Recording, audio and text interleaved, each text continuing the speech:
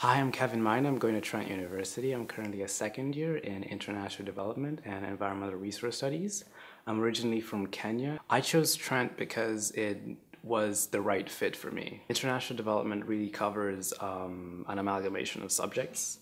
It covers a little bit from economics, from history, from geography, and it builds on to try and address a lot of the issues that we have in our world today, you know, dealing with development, dealing with welfare, and trying to get people to, you know, increase their standard of living and deal with the causes of poverty, of inequality that are happening in the world today. Environmental science, I'm taking it as a kind of a bridge between that because environment and the climate with the way it's changing really just causes a whole bunch of, you know, issues to do with development. If I were to recommend something to students who are going to be coming to take international development, it's that um, open your mind definitely before because there's a lot that you're going to have to take in and you might not agree with all of it. It might not very be very comfortable for you to understand and to listen to. It's also very dense in terms of the theory you're going to deal with but it's so transferable. It's so applicable to everything that you're going to be doing